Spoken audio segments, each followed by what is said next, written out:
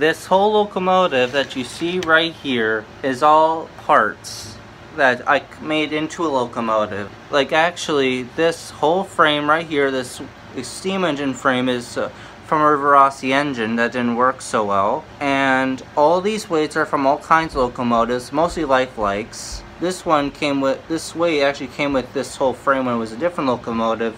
This motor is a Bachmann motor. Very good actually. If you're lucky, you could uh, find this type of wheel because it actually uh, smooth running.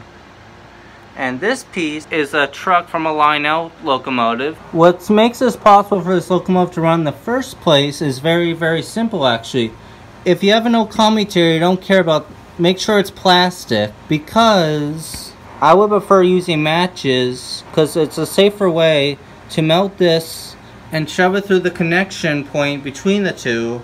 Next thing I did was I added not just one pickup, but two pickups right here. And I think it has potential in it, and I'll scratch build on this. I'm probably going to make this into another double-decker locomotive, like a double-decker bus. And this locomotive is going to be the Blue Comet for another video.